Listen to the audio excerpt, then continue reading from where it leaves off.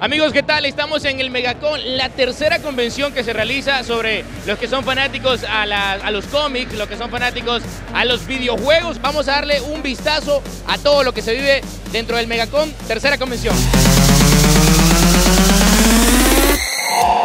En un éxito total se convirtió el Megacon HN, la tercera convención en Honduras de los cómics, anime, cine, juguetes coleccionables, videojuegos y cosplayers, donde el único objetivo era entretener a los fanáticos de esta cultura.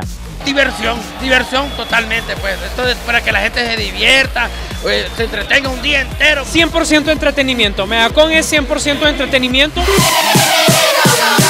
Los artistas que hacen doblajes de las voces de los personajes de las series animadas forman parte de esta gran exhibición en el que personas de todo Honduras se reúnen una vez al año para mostrar lo novedoso de los cómics. En este caso le toca a las voces de Caballeros del Zodíaco, que es una serie que para muchos en los 90 que, que fue que se presentó aquí en Honduras, causó bastante furor. Las voces que interpretaron a los caballeros son los invitados especiales para el final del evento.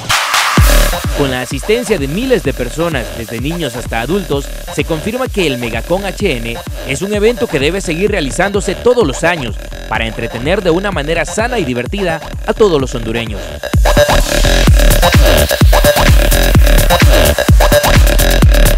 Marlon Reyes, 11 Noticias.